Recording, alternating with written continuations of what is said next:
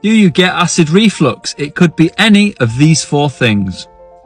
Number one, the foods you're eating. Often when people are having lots of sugar, gluten, dairy, alcohol, these things can trigger acid reflux.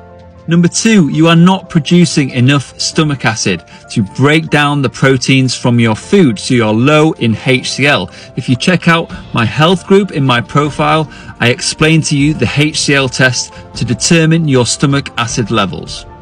Number three, a hiatal hernia. This is an issue with the stomach where acid travels up towards the throat. You can seek out the appropriate practitioners. Number four, you may have a stomach pathogen called H. pylori. This creates stomach cramps, stomach pains, and acid reflux. You can seek help from your doctor for this. So for the links and resources and any other assistance that you might need with this, you can check out the link to my health group in my profile where I can share all these with you. Furthermore, you can leave a comment with any questions or issues that you may have and I'll do my best to answer them for you.